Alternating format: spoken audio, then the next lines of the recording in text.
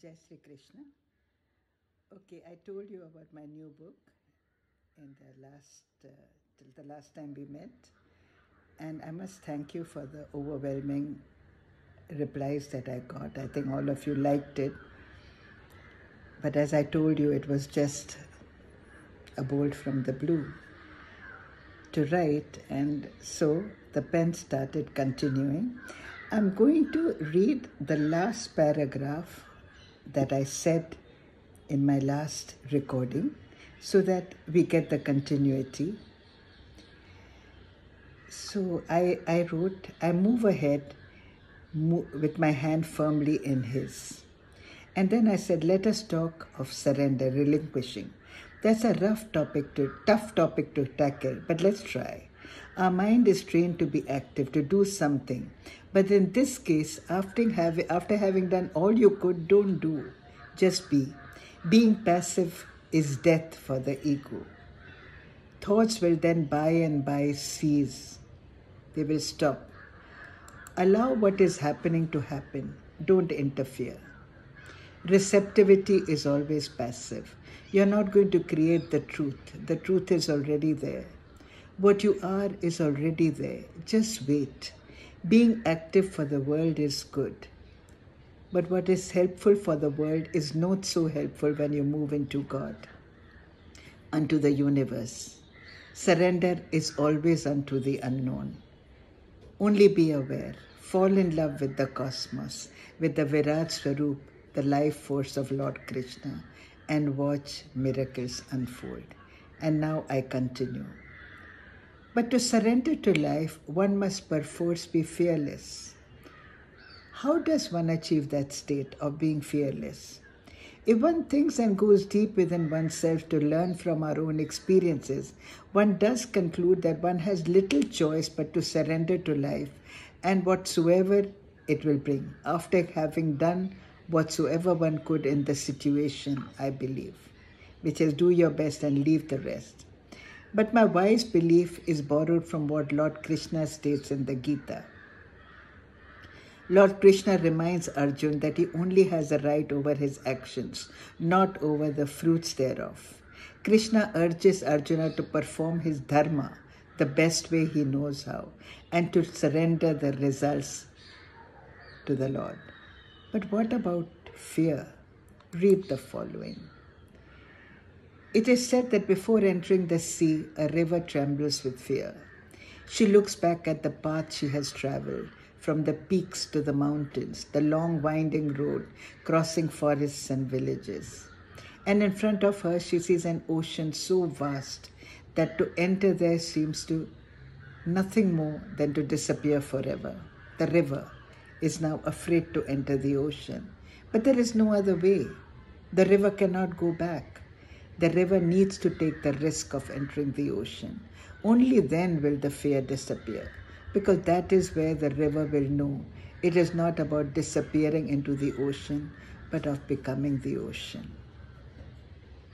And have, we have heard that that the best way to get off from fear is to just do what you are afraid of. You will not learn to swim until you get into the water. You can read as many manuals as you like. And then I continue. I believe that the need to write comes with hope hope to inspire, hope for a better existence, a better world, a more peaceful one, one in which we learn to coexist, in which it finally dawns upon us that we share the same planet and it has to survive if we need to. Maybe when I see my words on paper, I understand myself better. When I read what I have written, I become clearer to myself. And then, most of the time, for me at least, when I realize that what I feel is true, then I share it. And then the complex world becomes clearer to the reader. When he's able to see the world and himself in a clearer light, then I feel that I have scored. And I realize that the pen is truly more powerful than the sword. So let us talk about fear. Parents urged us not to be afraid. They wanted us to become achievers and walk boldly on in the face of adversity. Don't be afraid of the dark. Walk on your own, they said silently, while suddenly letting go of our hand as we toddled along. But then, contradicting themselves, they taught us not to trust strangers instantly and not to cross roads while distracted. We grew up confused. But soon we learned to walk the line between fear and fearlessness. However, parents and children continue to remain uncertain as to, fear, as to what to fear and what not to. The truth is that there are no guarantees. If you don't take that step forward for fear of falling, you will never learn to walk. I have read that there is no shame in falling in the mud, but there is in not getting up and continuing to walk. Try and try again until you succeed or move on. Don't look back. We all have heard those wise instructions often enough, but think. Only that child succeeds who applies those instructions to their life and continues to walk and stand tall in his own image. So, so what if people criticize you or talk about you? Haven't you heard the song, Kuch to log kahenge, logo ka kaam hai kehna? And then, छोड़ो बेकार की बातों को कहीं बीत न जाए रहना meaning people will talk that is their job don't waste this beautiful night thinking about useless things now let us understand fear some fears are necessary fear helps us to perform better to change the situation for the better Think about it. When you are afraid of examinations, it may goad you to prepare earlier. Gandhiji did not like the way Indians were treated on their own soil. The fear of that condition persisting made him work towards India's independence. Yet many fears one need to fight against, those that makes us withdraw from life, those that do not allow us to face a situation. Maybe we fear the outcome. That outcome we may imagine will be of failure or of ridicule. We fear as to what people will think of us. I have heard that ships may be safest while docked but ships were made to sail on the high seas. Fearlessness does not mean lack of fear. It means that you are able to conquer the fear and rise above it.